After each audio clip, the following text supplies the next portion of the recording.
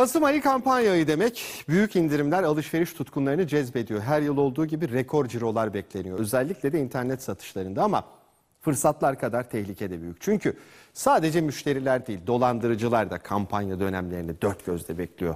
Korunmanın yolu da çok belli. Bilinmedik ve taklit sitelerden uzak durmak.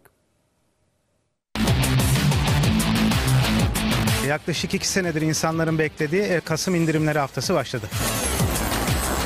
Kasım deyince ne geliyor aklınıza? Tabii ki indirimler.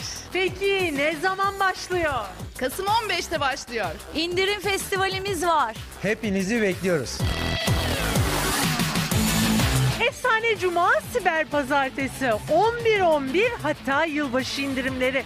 Kasım itibariyle hepsi başlıyor. Kesinlikle bekliyorum ay heyecanla. Seda Hanım yeni doğum yapmış 8 aylık bebeği var. Bebek bezi, bebek kıyafetleri, şampuanları indirim dönemlerinde bunları takip ediyorum ve stokla alıyorum. Vitrinler hazır, dev afiş indirimleri asıldı. Bu indirimler tüketici için de satıcı için de avantaj ama o avantajı kendileri için kullanmak isteyen siber dolandırıcılar da hazır bekliyor. İhtiyaçlarımı alacağım. Önceliğim kozmetik ürünleri, kıyafet, ayakkabı.